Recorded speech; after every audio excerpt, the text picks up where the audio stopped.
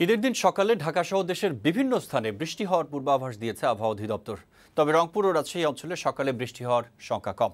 দুপুরে আবহাওয়া অধিদপ্তরের সংবাদ সম্মেলনে এসব তথ্য জানানো হয়। কয়েকদিনের টানা বৃষ্টির প্রভাবে তাপমাত্রা সহনীয় পর্যায়ে চলে আসবে বলেও এ সময় জানানো হয়েছে। ইউসুফ রানার প্রতিবেদন। গত কয়েকদিন ধরেই থেমে থেমে বৃষ্টি হচ্ছে দেশের বিভিন্ন স্থানে। পশ্চিমা লঘুচাপের প্রভাবে শুরু হওয়া এই বৃষ্টিপাত আরও কয়েকদিন চলবে। তাই ঈদের দিনে দেশের বিভিন্ন স্থানে বৃষ্টির সংখ্যা রয়েছে বলে জানিয়েছে আবহাওয়া অধিদপ্তর। রোববার দুপুরে আগারগাঁওয়ে সংবাদ সম্মেলনে এসব কথা জানানো হয়।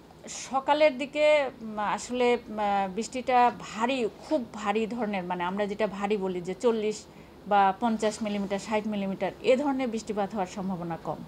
কিন্তু বৃষ্টি হওয়ার সম্ভাবনা আছে।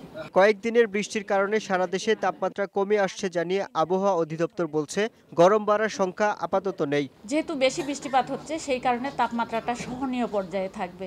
মানে খুব গরম লাগবে না ঠান্ডাও না। এখন যেমন ধরনের তাপমাত্রা সহনীয় পর্যায়ে আছে এই ধরনের সহনীয় পর্যায়ে থাকবে। দেশের আকাশে বজ্রমেঘের সৃষ্টি হলেও নৌযান চলাচলে তার প্রভাব পড়বে না বলে জানান এই আবহাওয়াবিদ। নৌবন্দরগুলোর জন্য এক নম্বর সতর্কতা সংকেত দেখিয়ে যেতে বলা হয়েছে।